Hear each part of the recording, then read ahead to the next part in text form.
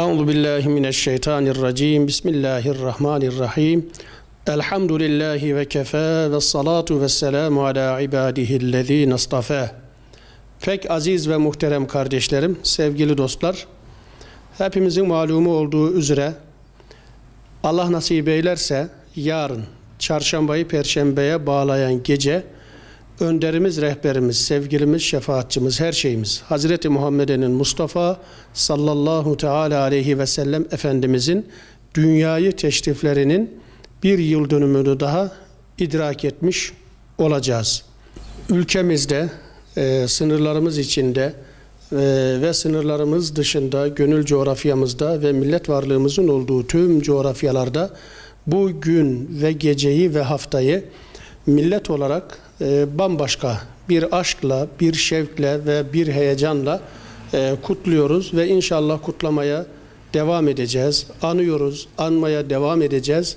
Anmaktan tabii ki anlamaya.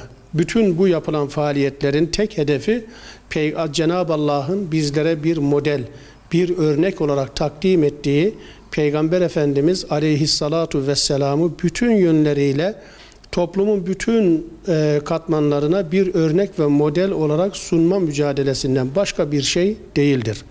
Zira Cenab-ı Allah Kur'an-ı Kerim'de Peygamber Efendimiz aleyhissalatu vesselam'ı bize takdim ederken لَقَدْ كَانَ لَكُمْ ف۪ي رَسُولِ اللّٰهِ اُسْوَةٌ حَسَنَةٌ لِمَنْ كَانَ يَرْجُ اللّٰهَ وَالْيَوْمَ الْآخِرَ وَذَكَرَ اللّٰهَ كَثِيرًا Vallahi muhakkak Allah'ın Resulünde Allah'ı umanlar, ahireti umanlar ve Allah'ı çok çok zikredenler için güzel örnekler vardır. Buyurmak suretiyle Peygamber Efendimiz Aleyhissalatu vesselam'ı Efendimiz Aleyhissalatu vesselam'ı bize bir model, bir örnek, kendisine tabi olunması gereken bir model olarak takdim ediyor.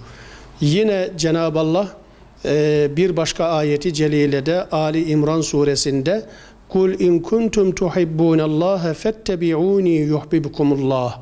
Habibim şöyle söyle de ki eğer Allah'ı sevdiğinizi iddia ediyorsanız fettebi'uni bana tabi olun ki yuhibbukumullah. Allah da sizi sevsin.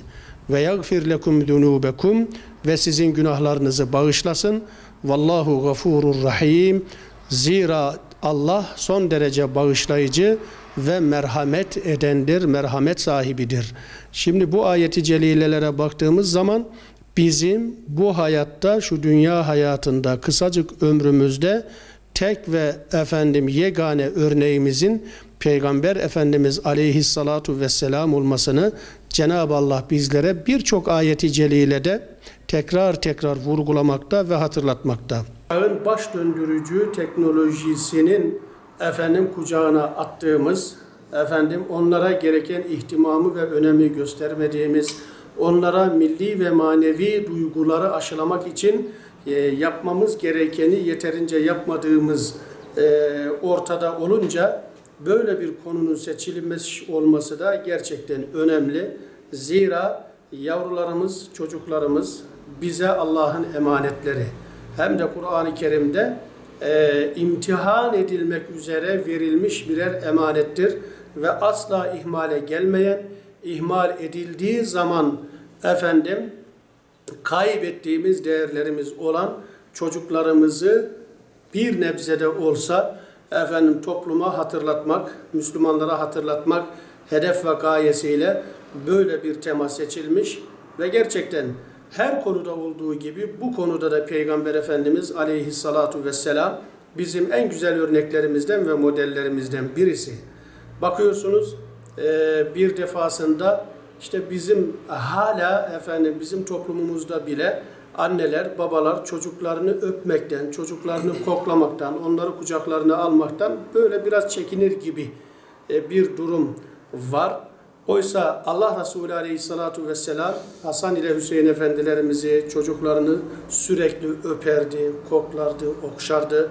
Hatta bir defasında Peygamber Efendimizin Hazreti Hasan ve Hüseyin'i dizine oturtup onları okşadığını, onları öptüğünü gören bir sahabe Allah Resulü Aleyhisselatü Vesselam'a gelerek Ya Resulallah sen çocukları öpüyor musun?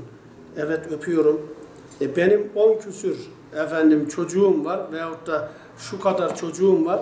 Daha henüz hiçbirisini de öpmüş değilim deyince Allah Resulü aleyhissalatu vesselam ona Allah senin kalbinden ve gönlünden merhameti çekip çıkarmışsa ben ne yapabilirim?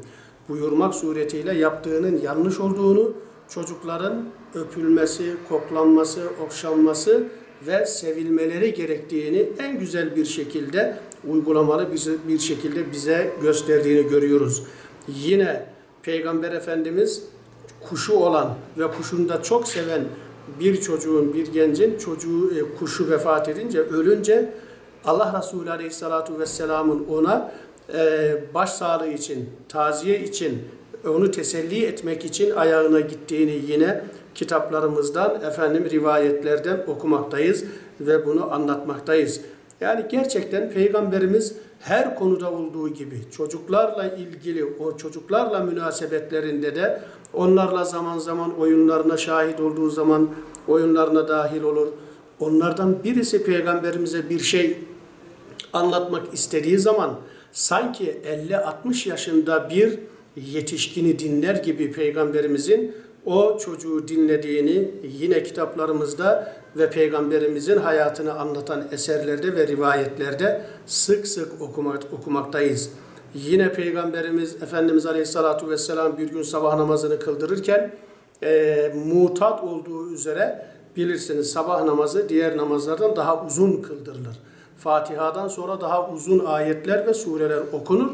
E, bu da peygamberimizin sünneti. Bir defasında peygamberimiz sabah namazını biraz kısa okuyor. Tabi sahabe hiç alışık olmadığı için namazdan sonra sorarlar. Ya Resulallah sen sabah namazlarında uzun okurdun. Bu sefer kısa tuttun. Sebebi ne ki? Ne ola ki diye sordukları zaman Peygamberimiz onlara ben namaz kıldırırken arkada kadınlar bölümünden bir çocuğun ağlama sesini duydum. Daha fazla çocuk ağlamasın diye efendim namazımı kestim demesi efendim bizim için ayrı bir örnek.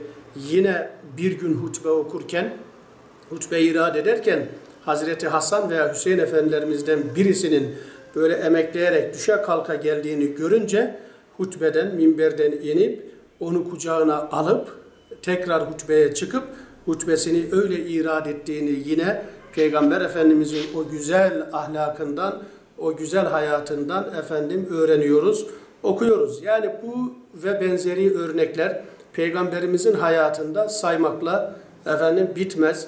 Onun için bugün bizler de çocuklarımızı efendim kendimizle beraber namazlara camiye götürmek suretiyle onları camiyle, onları cemaatla, onları namazla, efendim onları milli ve manevi duygularla beslememiz e, 4 yaşından itibaren de bu işe e, başlamamız gerektiğini Peygamberimizin hayatından efendim öğreniyoruz. Dolayısıyla bu günler, bu geceler yani Peygamberimizi sadece mücerret anmaktan ibaret değil, öyle olmamalı. Anmaktan ziyade onu anlamak ve her yıl onun hayatından hayatımıza bir şeyler devşirme mücadelesi olması gerekiyor.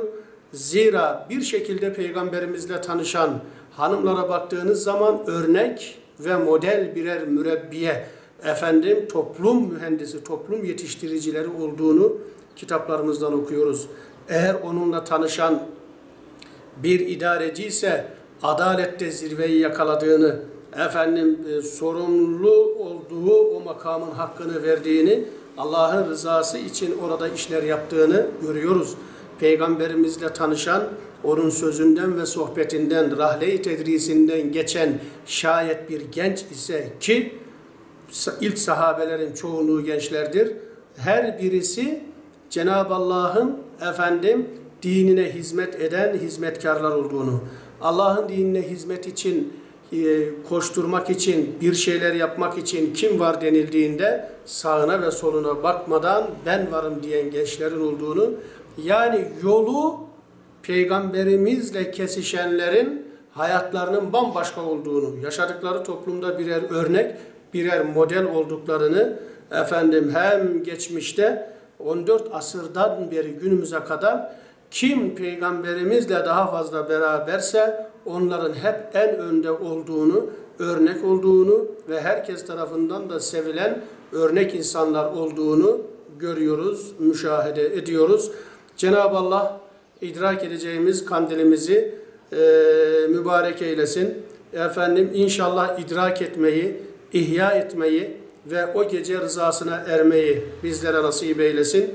O güzeller güzelinin ve doğduğu gecenin hürmetine Rabbim şu içinde bulunduğumuz zor süreci bir an önce atlatmayı nasip eylesin. Bu üzerimizdeki Covid-19 salgınından bir an önce kurtuluşumuza inşallah vesile eylesin. Allah'a emanet olunuz. Kalın sağlıcakla.